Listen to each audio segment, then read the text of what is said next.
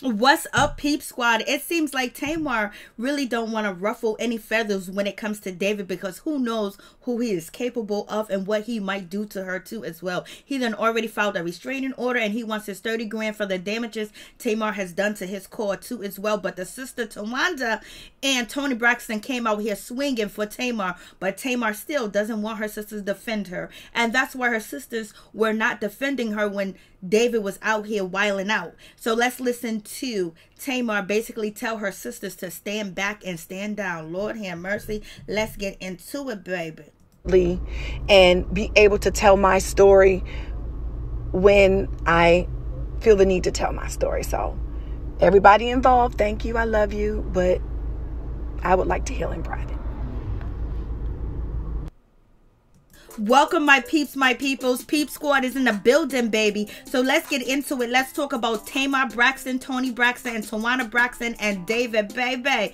It is going down. It's about time that they let the world know that David ain't nothing but a slithering snake that slithered his way into Tamar Braxton life just to get fame, baby. He ain't nothing but a user, and he tried to isolate Tamar from her family, which he tried to portray on the show that he wanted her family to be close to her. He was trying to get her all isolated by himself so he can take over. He can take over her life. He can take over her accounts. He can take over being Logan's father. He's out here doing too much. And the sisters that finally came out and said something, baby. It's about time. But I think they got the okay from Tamar. And they know the relationship between David and Tamar is over. So they are speaking up and speaking out, baby. But let's get into this situation where Tamar was chilling with her sister.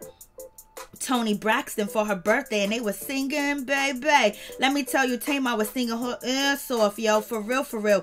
She had it going on and she left a beautiful post about her relationship with her sister and they got each other's back. And Tamar said that she has Toni's back when it comes to Birdman because believe me, you're going to need her back in her front when it comes to Birdman. And so, therefore, it seems like Toni Braxton returned the favor. And she has something to say about David and she let it be known. She posted this baby. She's saying David ain't ish and he ain't gonna never be ish and he ain't nothing but a weasel. He's a ferret and you are beyond contempt. Once again, do not include my children and your shenanigans. Please leave my family alone. They're begging David to go away, to stay away because he is nothing like a tumor. He is just a shame. It's just oh downright disgusting how he tried to betray himself on Tamar. Get your life like he's this Christian man. He's this good man. His sister out here saying this and saying that that they are conservative and they're very opinionated. Like, please miss me with that. Take your brother and move him somewhere else because he has burnt his bridges here, baby. And we don't want nothing to do with David. We don't hear want to hear nothing about David. But let me tell you, Tamar was singing the hell out of Tevin Campbell's song, Can We Talk for a Minute, baby?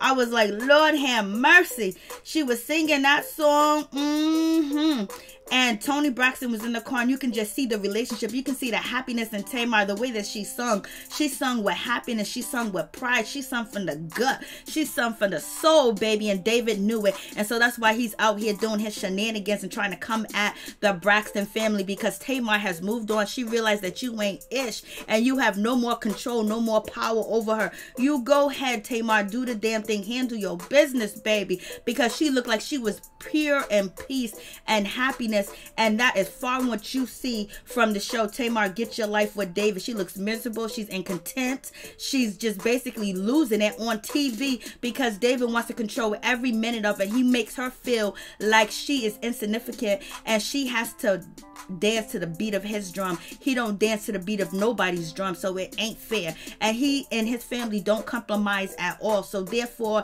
he needs to stay single the way he is, unmarried at 50 and no children at 50. It is what it is. Like low down, dirty. But we got Towanda. She comes in and she steps up for her sister too as well, and she makes sure that it is known that David ain't nothing but a F boy, baby yes, Toni is okay. She's just really pissed off at yeah. David, as we all are. Uh, we don't appreciate or, I guess, um, agree or condone the way that he's handling the situation. It's just is even deeper than you guys can even imagine. So, Y'all only know the surface of it. That's it. So yeah. for Toni to even say something and to post it on social media, because you know she never does anything like that. Um, you know he's gone way too far. Yeah. And you know, like she said, you don't involve the children. We don't care what happens or how we may disagree or agree to disagree. You never involve the children. And David went over the line when it comes to that. You know. So somebody said, "Drop David's address, please." I can't do that, but I would say, yeah. my words is that I believe that he's a loser boy, from the rooter to the tutor. And if I'm calling somebody a loser boy, I mean it. Yeah, she mean that. She mean that. Look, Kiki Kika Nunu Moo said Toni is private, so I knew it had to be. So you already know Kika Nunu Moo too. That ain't even her name. And listen, she's a friend of the family's, and I've known her forever, forever, ever. But forever, you, ever? but you adding letters and, and words. Kika Yeah, that's not even her name. I, that's what I call it. That's what I call Kia. Kika Nunumutu. Uh, cool, cool. I always call her that. Kika Somebody get Brian on the phone. Oh Lord. Let's cancel, David. I ain't get your text, Key. She hitting the wrong number. this, you know I changed my number. And let me tell you something. The person who has my number is off the damn chain. Because she mad. She first of all, not only is she mad, she texting people back. What? Yes. Marie says she called her back. And said what? And said this isn't Towanda. You know, all of that. So Yeah. You know calling me That's while I'm on here. Toni blowing her. Hey Toni, get on get on live so we can talk to Toni. Am I accepting Brandon back? To talk to her. She keeps calling me. Because she kept calling like 40 times. Why yeah, isn't she? She's just, it's just whack. It's Tamar and Logan, okay? Tamar, Tamar and Logan is good. good. Just keep us, you know, just keep them in your prayers. You know what I mean? She, she called me back too. See? Let's see. Not Toni calling while y'all. Yeah, she called me twice. Three times, actually. It might yeah. have been three. Somebody text Toni to get on live. Yeah. So that's all I wanted to say. Thank you guys. We love you. Make sure you go to T Braxton Skincare. Yes, I'm gonna plug. Yes, I'm always plugging. T Braxton Skincare.com. Um, I'm sleepy, and, um, y'all. I'm sleepy too, baby. Let's go home. Let's go home. Get in the bed. Yeah, let's play footsies. Footsies. We play footsies every night. That's an old my, game. Can I put my booty on you? Always. Her booty always stay on me. You like it though? Oh yeah, it's not. It's always warm. It's always warm and it's soft all the time. That's Kiss. Online? No, when we get on. Oh, absolutely. So listen, um, hold on, somebody just said something. And thank you, Braxton F Values, for I, Braxton F Values, like everybody. Thank you guys so much for always supporting the Braxtons and you know having our back. You know what I mean? Um, yeah, fresh porn. Mario talking about fresh corn on. Man, you got me out here being loud this so restaurant. I gotta go because Toni called me three, four, five, six, seven, eight, nine, ten times. So pretty soon he, she gonna call you looking for me. Mm mm mm mm mm. Lord have mercy. When it rains, it pours.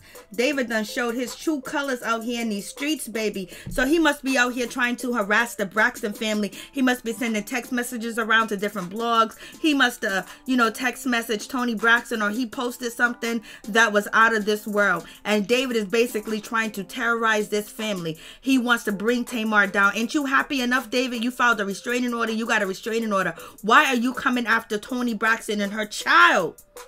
Why are you doing that? You're talking about you're not here for the mess, you're not here for the drama, but it seems like everything that you're doing is about the drama. You don't want to be a TV star, you don't want to be on TV, but yet you on Tamar, get your life controlling the show, talking about you're not going to be on the show if Vince is on the show, and you don't want Goldie on the show. Like basically, it's your show, like you a star, like you are somebody, baby. You ain't nobody. Only body that you are somebody to is your family that think that you are God gifts, and baby, you ain't a gift to nobody. You are a bag of of sand, a bag of dirt. And then on top of that, you're also muddy too as well and low down and dirty. And you know what you did and you know what you've been doing. You knew the blogs was going to pick up that restraining order and do all that. You knew that you was going to try to bring her down. You want to press charges against her. You you want to sue her to get your 30 grand. You're going to get your 30 grand. Leave her alone. Leave Toni Braxton alone. Leave their family alone. You got a little piece. You got a little sniff of the Braxton family and their life. And now you want to be a part of it. Now you want to be a media sensation. Now you want to be on YouTube. Now you want to be on Instagram.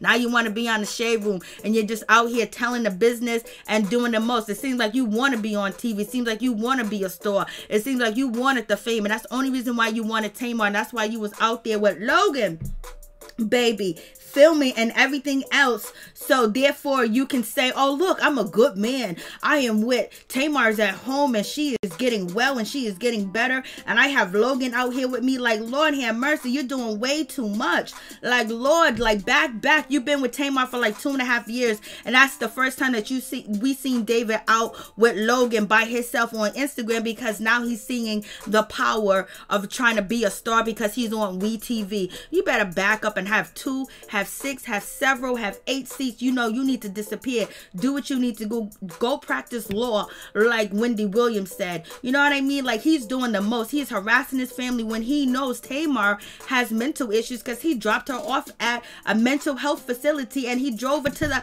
to the mental health facility too as well. So she he knows that she has issues. So why are you poking the bear when you know that she has issues? It seems like you has issues too as well and you got problems and you need to go seek help and leave Tamar alone. You done already got your fame. You've been on Instagram. People know your name now. Bounce. Disappear. Tamar is still trying to protect David.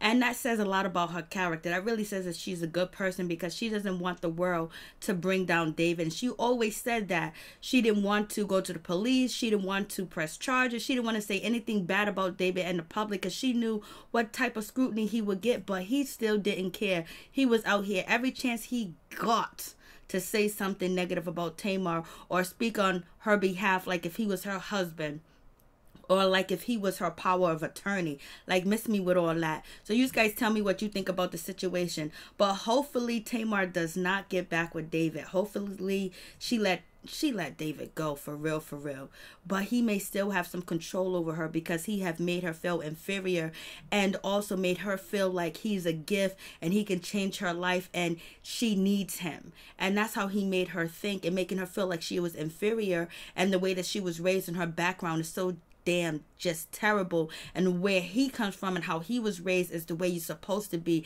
And he could be a great role model for her and her son. So she's still under the spell. Or she just doesn't want people to dog him out because she still cares for him. Point blank period